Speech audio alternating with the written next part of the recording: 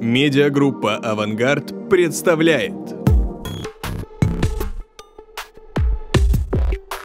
Александр, э, расскажите, пожалуйста, про опыт вашей компании, опыт вашего сока по противодействию современным кибератакам э, с учетом изменившегося э, ландшафта киберугроз. Ландшафт действительно меняется, меняется постоянно, и пандемия в том числе принесла свои какие-то а, ключевые изменения, то есть мир, ну, понятно, что не будет прежним. Вот, основная часть народа ушла на удаленку, и это стало определенным маркером для злоумышленников. Под, под ударом стали как небольшие компании, так и крупные корпорации. Практика показывает, что тот же сок, он а, сам по себе не работает, он должен обогащаться, он должен а, приниматься опыт у коллег, у зарубежных коллег, у таких же компаний.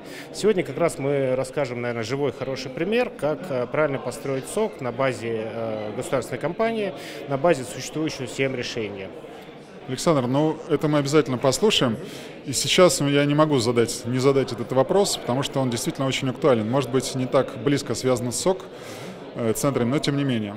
Мы знаем вашу компанию, компанию InfoSecurity, как одного из исполнителей работ по внедрению систем безопасности единой биометрической системы.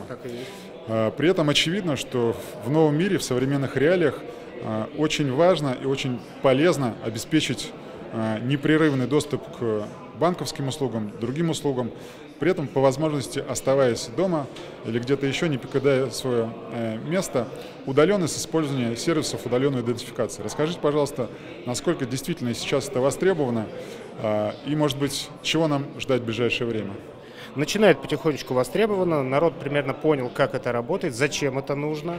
Вот. А пандемия также внесла свои небольшие коррективы за счет того, что большая часть народа дома, и если раньше это было направлено в основном на маломобильные группы граждан, которым физически сложно отправиться в банк и там, оформить какой-то банковский продукт, то сейчас это становится уже более-менее повсеместной задачей, актуальной для всех, потому что а, выходить на улицу условно опасно, а получая услуги удаленно, это, собственно, ну, экономит во всех смыслах и облегчает жизнь.